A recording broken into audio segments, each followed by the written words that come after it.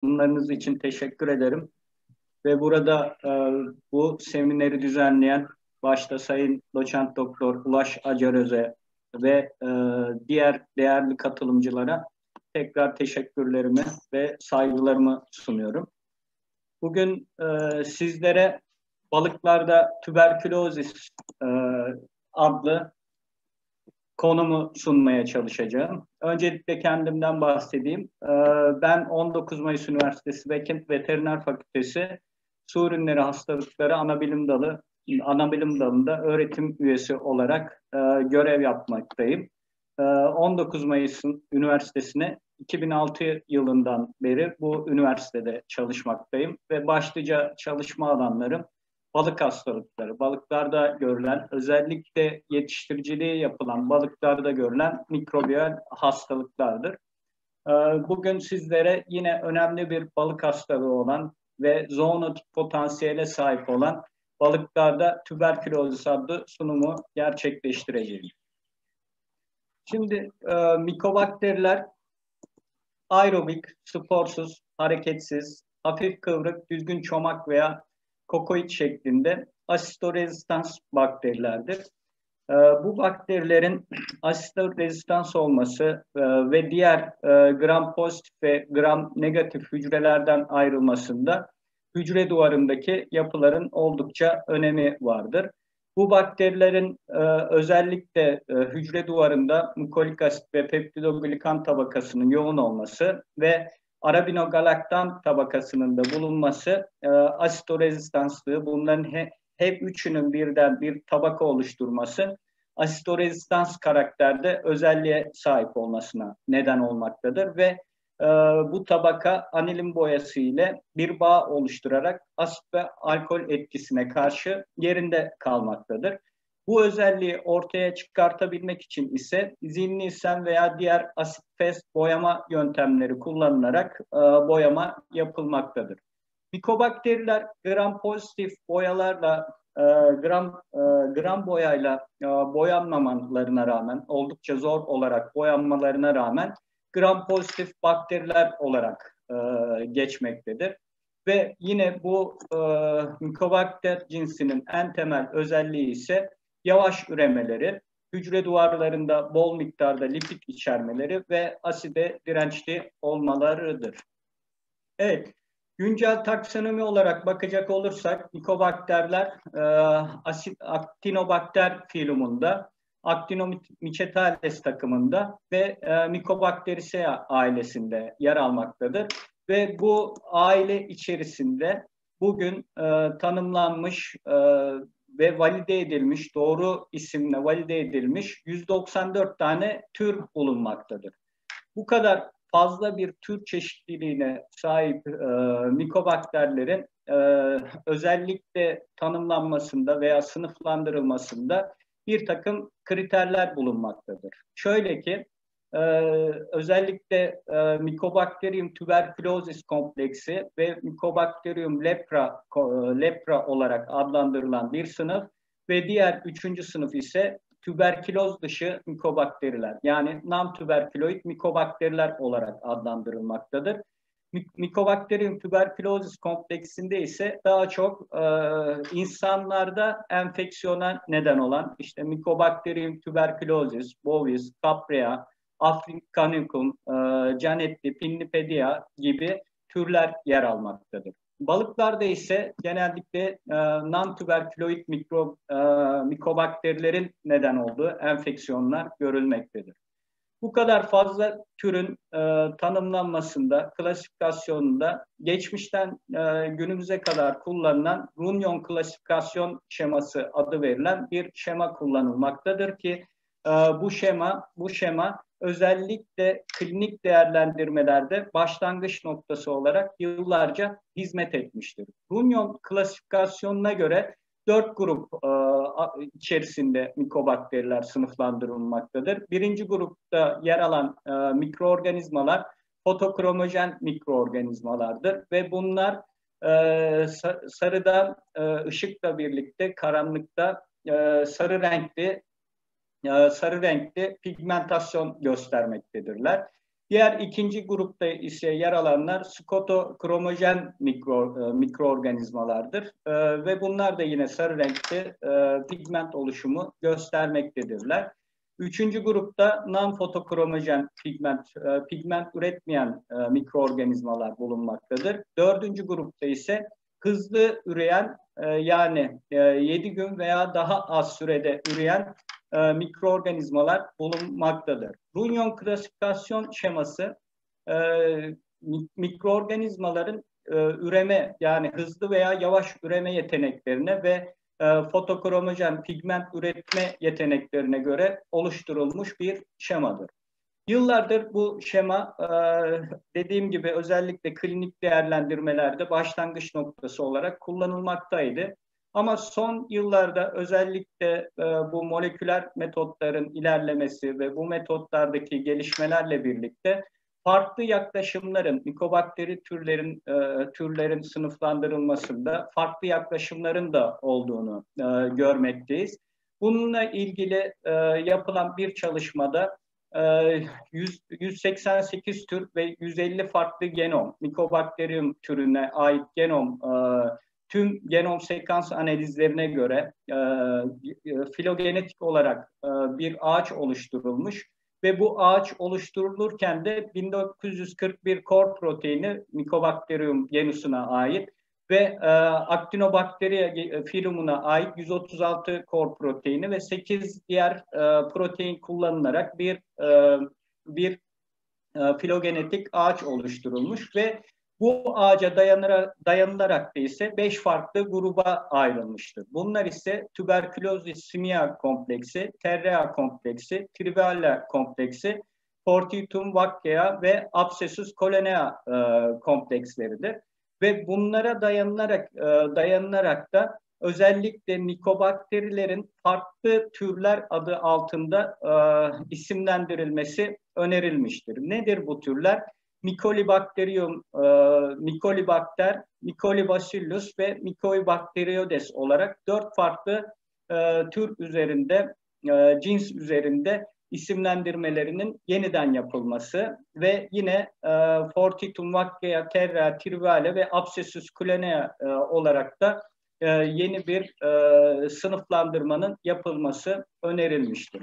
Gelecek yıllarda hiç şüphe yok ki bu konuda konuyla ilgili çalışmalar da devam edecek ve farklı sınıflandırma şemalarını da e, göreceğiz.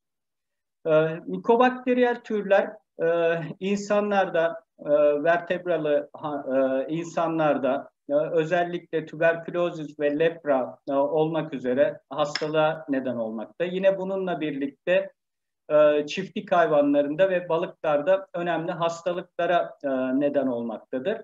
Özellikle e, akvakultürde ve e, akvaryum sektörüyle akvaryum sektöründe e, yaygın olarak repo, e, rapor edilen e, mikroorganizmalar vardır ve e, mikobakterilerin e, genel olarak yaşam alanları aquatik çevreler, e, bunların içerisine nehirler, göller, e, dereler e, gibi aquatik çevreler girmektedir. Ve e, Mycobacterium genusundaki mikroorganizmalar e, sıklıkla e, su örneklerinden izole edilmektedir ki bu bize bu bakterilerin, bu bakteri Mycobacterium türlerinin e, çevresel bakteriler olduğunu da göstermektedir. Balıklarda Mycobacterius e, enfeksiyonuna neden olan başlıca türler bulunmaktadır ve bu türler özellikle hem tatlı ve e, hem de tuzlu sularda enfeksiyona neden olabilmektedir. En önemli türler ise Mycobacterium schoeneae, Fortitum ve Marinum yer almaktadır bu türler içerisinde. Son yıllarda yapılan çalışmalarda da Mycobacterium abscessus'un da öneminin arttığını görebilmekteyiz. Ee, bu üç veya dört dersek dört önemli türün dışında birçok non-tüberküloid mikobakteri olarak isimlendirdiğimiz tüberküloz e, e, türleri balıklarda enfeksiyona neden olabilmektedir. Mikobakteriyel türlerin konakçı aralığı oldukça geniştir. Ee, genellikle bütün balık türlerinin bu hastalığa karşı duyarlı olduğu bildirilmekle birlikte yaklaşık 150 tane hem tatlı hem de tuzlu su balık türünün bu hastalığa karşı e, bu hastalığın e, has, bu, bu türlerde bu hastalık rapor edilmiştir. Onun dışında e, karasal hayvanlarda, kuşlarda da, reptiller gibi has, e, hayvanlarda da mikobakteriyel türlerin neden olduğu hastalıklar bildirilmiştir. Mikobakterler balıklarda çeşitli balık e, türlerinde e, organ ve dokularda değişik büyüklükteki tüberküllerin e, oluşmasıyla karakterize, kronik ve genellikle sporadik seyir gösteren bulaşıcı bir enfeksiyon oluşturmaktadır. Hastalığın ortaya çıkmasında bir, bir takım faktörler önemlidir. Bunlar nelerdir? Düşük e, asidik pH, organik ortamdaki organik yükün fazla olması, yine yetiştiriciliği yapılan kültür ortamlarında e, kalabalık e, popülasyon yoğunluğunun fazla olduğu yetiştiricilik sistemlerinin olması, e, balıkların strese girmesine neden olabilecek çok çeşitli faktörler de bu hastalığın ortaya çıkmasında önemli rol oynamaktadır. Hasta balıklarda e, genellikle e, klinik tablolar, görülen klinik tablolar e, letarji, e, letarji, e, aşırı derecede zayıflama, asites, e, pullarda dökülme, pul kaybı, anormal davranışlar, yine pigment değişimi, egzoftalmus, dermal ülserasyon e, ve spinal defektler gibi birçok e, klinik tablo görülmektedir. Ancak yapılan çalışmalarda özellikle e, bu mikroorganizmalar hem yetiştiriciliği yapılan e, kültür balıklarında hem de akvaryum balıklarında e, enfeksiyona neden olmaktadır. Akvaryum balıklarında yapılan çalışmalarda hiçbir klinik tablo göstermeyen balık türlerinin bile mikobakter enfeks e, mikobakter türlerinin e, taşıyıcılığını yaptığını yani bu türlerden mikobakteriyel türlerin izole edildiğine dair birçok e, rapor bulunmaktadır. En önemli klinik bulgumuz ise tüberküller, iç organlarda veya vücut yüzeylerinde, vücut yüzeyinde, deri üzerinde görülebilecek tüberküllerdir. Mikobakterlerin balıklardaki enfeksiyonuyla ilgili üç önemli tür olduğunu bildirmiştim ve bunlardan en önemlisi ve en sık e, rapor edilen tür Mycobacterium marinum'dur. Mycobacterium marinum ilk olarak 1897 yılında rapor edilmiş ve ilk izolasyonda Piscum adı altında adlandırılmış ve ilerleyen yıllarda bu Mycobacterium piscum'un Mycobacterium marinum olduğuna karar verilmiş ve daha sonra yine Mycobacterium anabanti ve e, Palatipoeculus gibi türlerinde yine rapor edilen bu türlerinde Mycobacterium marinum olduğu görülmüştür. Diğer önemli bir türümüz ise Mycobacterium fortitum'dur. E, bu mikroorganizmada 1950 yılında ilk izolasyonu neon tetra balıklarında yapılmış ve e, daha sonra e, e, Bundan sonra Renea ve Salmonifilum e, gibi isimlerin e, Mycobacterium fortitum olduğu görülmüştür. Şolenea ile ilgili olarak da e, giderek artan bir e, artan bir dağılıma sahip olduğunu görmekteyiz ve bu e, mikroorganizma Mycobacterium abscessus ve Mycobacterium e, olarak iki alt gruba ayrılmış bir e, türdür.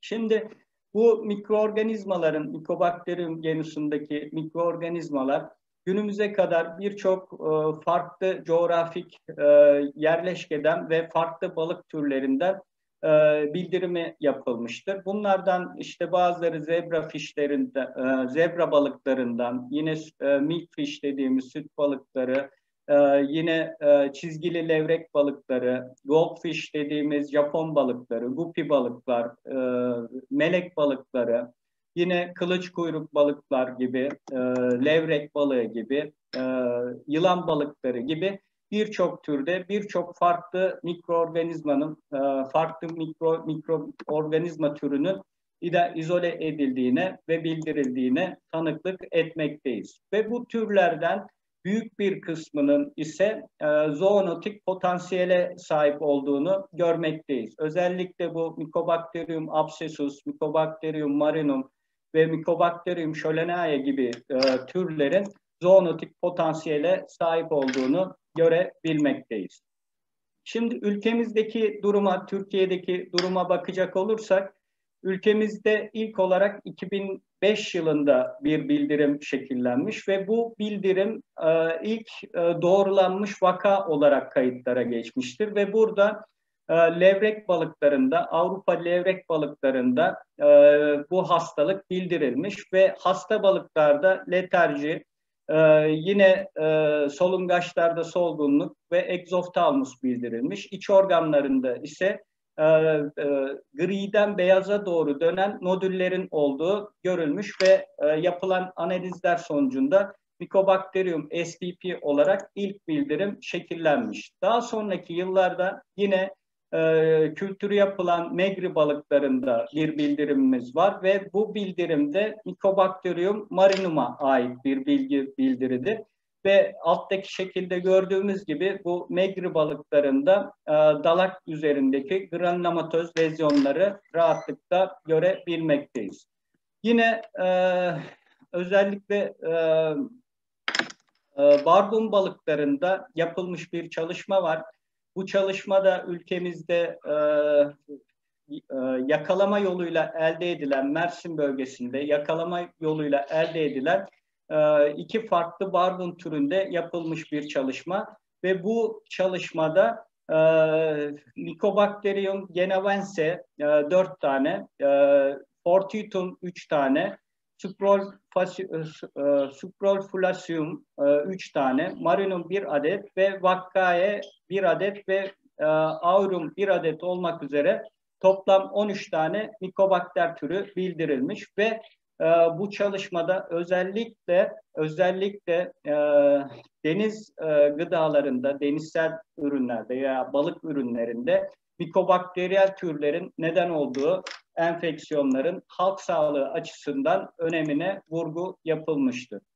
Yine farklı bir çalışmada yine e, megri balıklarında yapılmış bir çalışma ve sistemik bir mikobakteriyozis tablosu ortaya konmuştur.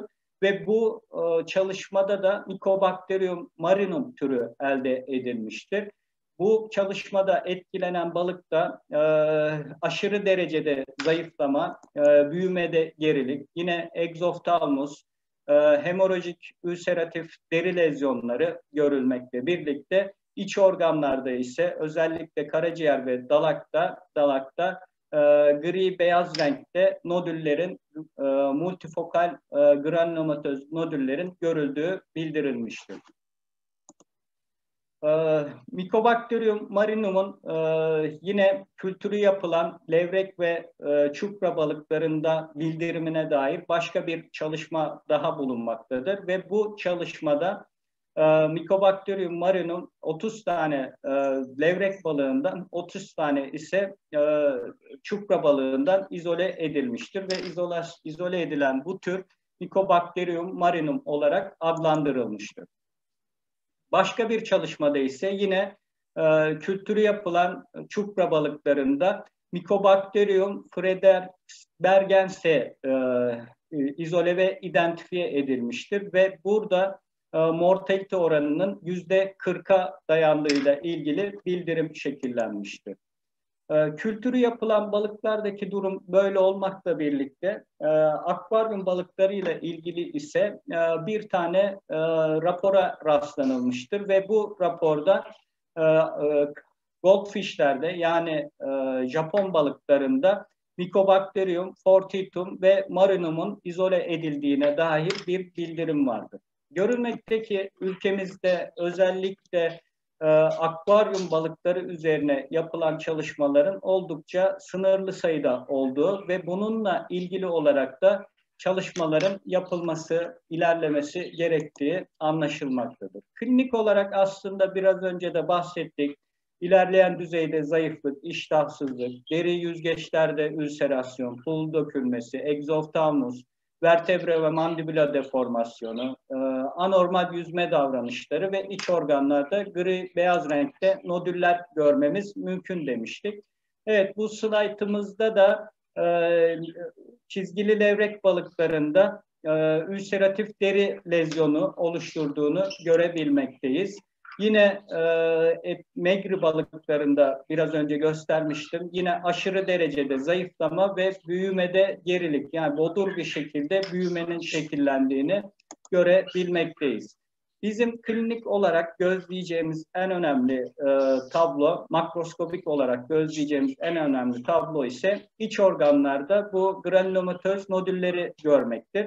Evet burada da gördüğümüz gibi çeşitli büyüklüklerde Mikobakter Atlantik salmon balıklarındaki Mikobakter enfeksiyonuna bağlı olarak çeşitli büyüklüklerdeki granulomatöz lezyonları görmekteyiz. Yine bu granulomatöz lezyonlar bir deneysel enfeksiyonla oluşturulmuş yine Atlantik salmon balıklarında ve burada da şekilde de gördüğümüz gibi karaciğer üzerinde değişik büyüklüklerde granulomatöz lezyonların olduğu ve bu granulomatöz lezyonların şekil e, A'da olduğu gibi iç organlardan e, iç organlarda hem de e, mezenteryum üzerinde de bu lezyonların görüldüğü bildirilmiştir. Yine mikobakter enfeksiyonlarında en sık e, veya patogonomik bulgu olarak değerlendirebileceğimiz bir bulgu ise vertebra ve mandibula deformasyonlarıdır ve e, üst sağda gördüğümüz şekilde ise yine gördüğünüz gibi vertebralarda skolyoz ve lordoz tablosunu görebiliyoruz ve mandibulanda da e, değişikliklere, deformasyonlara şahit olabiliyoruz. Bazen ise bu mikobakteriyel türlerin neden olduğu granulomatoz lezyonların e, internal organlarda şekillenen granulomatoz lezyonların aşırı derecede büyüyerek vücut dışına çıktığını da görebiliyoruz. Bu lezyonlara yine e, vücudun farklı bölgelerinde, göz gibi farklı bölgelerinde rastlanması mümkün. Histolojik olarak değerlendirmede ise e, şekil A'da gördüğümüz gibi bir e, nekrotik kor alanı oluşuyor ve bunun çevresinde yassılaşmış, bas, e, baskılanmış epiteli, epiteloid hücreleri görebiliyoruz ve e, bu kor, nekrotik korun epiteloid hücrelerle çevrildiğini görebiliyoruz. Aynı preparatın zilnilsen boyamasıyla birlikte e, mavi renkte mikobakter etkenlerinin de bu e, slaytta e, bu preparat üzerindeki görüntüsünü görebiliyoruz. Mikobakteriyel türlerin teşhisinde izlenmesi gereken metotlara geçecek olursak, Öncelikle klinik örnekler alındığı zaman e, bir birinci aşama olarak dekontaminasyon aşaması yapmamız gerekiyor ki ortamda bulunan diğer mikroorganizmaların elemine edilmesi gerekiyor ve bu amaçla en fazla kullanılan e, maddeler ise yüzde bir buçuk olarak setkiyum piridinum ve yüzde dört sodyum hidroksitin kullanıldığını görüyoruz.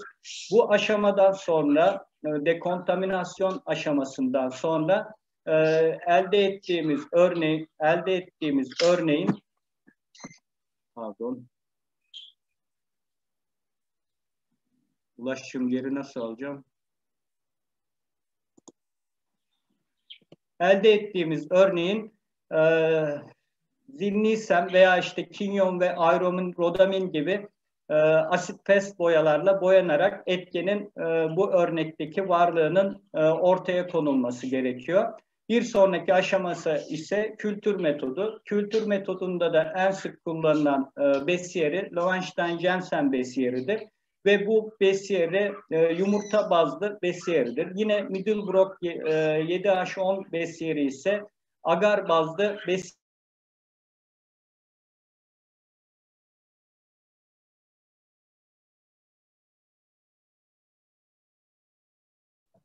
E, hocam sesinizi alamıyoruz. E, açabilir misiniz? Ulaşım nerede kaldık? Şimdi duyuyoruz hocam sizi. Devam edebiliriz. Evet bu e, bu aşamada tekrar başlayayım teşhiste. E, örnekleme yaptıktan sonra ilk aşama dekontaminasyon aşaması. Örneklerin dekontamine edilmesi ki Bu aşamada diğer mikroorganizmaların, ortamda bulunan diğer mikroorganizmaların elemine edilmesi gerekmektedir ve bu amaçla en sık kullanılan maddeler ise %4 e, sodyum hidroksit ve %1,5 setriyum piridinum e, kullanılmaktadır. Bu aşamadan sonra e, dekontaminasyon yaptığımız örneklerden asit boyama yapmamız gerekiyor ki e, ortamda bulunan e, mikroorganizmaların varlığını gösterebilelim. Bunun için en sık e, kullanılan bizim laboratuvarda veya Türkiye'de en sık kullanılan metodun Zilnielsen boyama yöntemi olduğunu görüyoruz. Ee, asit fes boyamalara diğer örnek ise kinyum ve aeromin rodamin boyamalardır. Zinlisen boyamada mikobakteriyel türleri pembe şekilde görebilmekteyiz. Sonraki aşama kültür aşamamız ve bu aşamada e, Lowenstein, Jensen ve Middlebrook 7H10 gibi besiyerleri, yumurta tabanlı ve agar e, tabanlı besiyerleri kullanılabilmektedir. Evet, burada e, Mycobacterium marinum'un Lowenstein-Jensen agardaki e, sarı e, renkli fotokromojenik özellikteki pigment oluşumunu görüyoruz. Yine e, buradan yapılan asitfes boyamada ise mavi zemin üzerindeki e, kırmızı renkteki çomakçıkları görebiliyoruz. Yine besiyerindeki Mycobacterium'un, e, Mycobacterium marinum'un e, Middlebrook besiyerindeki üreme morfolojisinde gördüğümüz gibi sarı renkli e, koloni oluşturduğu, Mycobacterium schoeneai'nin ise non-pigmentli, pigment üretmeyen bir koloni oluşturduğunu görebiliyoruz. Kültür aşamasından sonra identifikasyonda biyokimyasal testler e, kullanılabilmektedir. Ancak bu testler oldukça e, zaman alıcı e, ve maliyet getirici testlerdir. Burada ben kullanılabilecek bir takım testlerin listesini çıkardım. Ee, ama genellikle e, özellikle bu moleküler metotların yaygınlaşması ve çok fazla türe sahip olması, 198 tane türe sahip olması nedeniyle moleküler yapılan çalışmalarda moleküler metotların oldukça yaygın olarak kullanıldığını görebiliyoruz. Bu moleküler metotların birçoğu PCR tabanlı metotlar ve e, özellikle son yıllarda HSP65 heat shock protein olarak adlandırılan HSP65 bölgesinin ve yine 16S e, rRNA gen bölgesinin, RPOB gibi e, korunmuş gen bölgelerinin oldukça yaygın olarak kullanıldığını, izolatlardaki bu gen bölgelerinin çoğaltılarak sonrasında sekans analizlerinin yapılması ve e, kütüphanede bulunan, e, uluslararası kütüphanelerde bulunan bu e, dizilerin karşılaştırılmasıyla karşılaştırılmasıyla identifikasyon identifikasyonların yapıldığını görebiliyoruz. Bununla birlikte son yıllarda özellikle e, tüm hücre genom analizlerinin e, hızlı bir şekilde hem ülkemizde hem tüm dünyada yapılan çalışmalarda arttığını görüyoruz ve e, tüm hücre genom analizleri sonucunda da e, bu türlerin identifikasyonunu oldukça rahat bir şekilde yapabilmekteyiz. Mikobakteriyel türlerin bulaşmasında e, horizontal ve vertikal olarak bulaşma söz konusu ve e, transovaryan e, olarak nakilde özellikle balık türlerinde, vivipar balık türlerinde bildirilmiştir. Bununla birlikte özellikle üç farklı hipotez var bu horizontal bulaşmayla ilgili. Oral enterik e, yolla bir bulaşma şekillenebiliyor ve bu yolda e, bu yol ile kontamine e, gıdaların, e, alınması, yine infekte balıkların e, kanibalizm yoluyla birbirleriyle e, birbirlerini yemeleri, yine e, vücut üzerindeki vücut üzerindeki yaralanmalardan direkt temas ile aktarılmaları, yine en e, çevresel e, debrislerin e, balık tarafından alınması, bunların e, etkenin hastalığın bulaşmasında başlıca faktörler olduğu düşünülüyor. Ee, balıkların infekte balık dokularını yemesi bir diğer önemli bulaşma şekli. Yine e, çevresel protozoanların e, bu denizlerde, göllerde bulunan, otlar üzerinde bulunan çevresel protozoanların vektör olarak rol oynadığı ve bu mikroorganizmaların, bu mikroorganizmaların bunlar üzerinde bakteriyel biyofilm oluşturarak e, kendilerini koruma altına aldığı ve e, uzun dönem yaşayabildiği bildirilmektedir. Yine e, Tubifex, Tubifex gibi bazı solucanların ve e, su pirelerinin de enfeksiyonu, infeksiyonun transferinde görev aldığı bilinmektedir. Yine sinek larvalarının Japonya'da yapılan bir çalışmada da sinek larvalarının Mycobacterium marinumun marinumun transferinde önemli bir rol oynadığı ortaya konulmuştur. Mikobakteriyel türler e, insanlar açısından zoonotik e, öneme sahiptir. Öneme sahip mikroorganizmalardır ve e, ancak bu türlerin çevresel ortamdaki yayılımlarına baktığımız zaman yani oldukça geniş bir çevresel mikroorganizma e, geniş olarak bulunan çevresel mikroorganizmaları olduğunu düşündüğümüz zaman infeksiyonların e, nadir olarak görüldüğünü görebiliyoruz. İnsanlardan yapılan raporlarda genellikle e, yüzme havuzlarıyla ilgili ve bununla ilgili e, yüzme havuzu granüloması, e, swimming pool granuloma şeklinde bildirim e, söz konusu.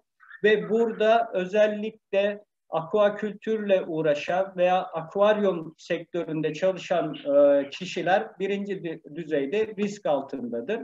Yine e, özellikle akvaryum balığıyla uğraşan, e, bu işi hobi amacıyla yapan insanlar ve e, yetiştiriciler diyelim, akvaryum balığı yetiştiricileri, pet shoplar, yine bu mikroorganizmanın neden olduğu enfeksiyonlar açısından e, risk taşımakta ve bu akvaryumlarda uğraşan insanlar için ve bu insanlarda görülen e, enfeksiyon tablosu için fish tank granuloma adı altında e, isimlendirilmekte. Lezyonlar, insanlardaki lezyonlar 3 ila 9 hafta arasında e, temastan sonraki 9 hafta arasında gerçekleşmektedir.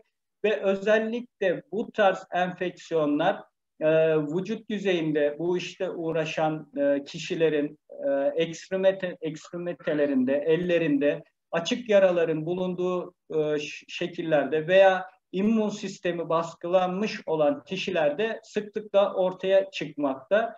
Ee, ve genellikle dediğim gibi ellerde, kollarda e, bu lezyonlar sıklıkla e, görülebilmektedir. Burada görmüş olduğumuz Mycobacterium marinum kökenli bir eritromatöz nodülü görüyoruz. insanlarda şekillenmiş. Yine Kolonea, şöleneye e, kaynaklı multipli bir ülseratif lezyon tablosu görebiliyoruz. Yine e, ellerdeki bu nodüller oluşumlar, eritromatöz oluşumlarla ilgili e, birçok bildirim söz konusu. 1984 ve 2014 yılları arasında Orta Doğu ülkelerinde e, rapor edilen non-tüberküloid mikobakter izolatlarının dağılımına ilgili bir veri var.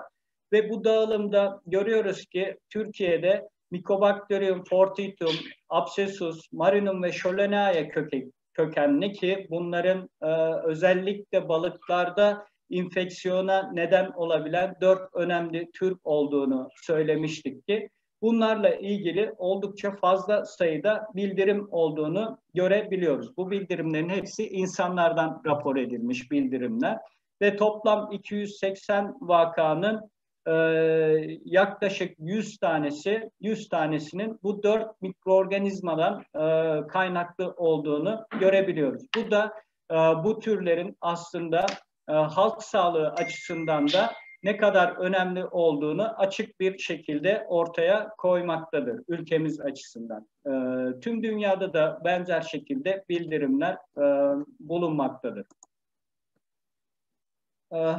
Sonuç olarak mikro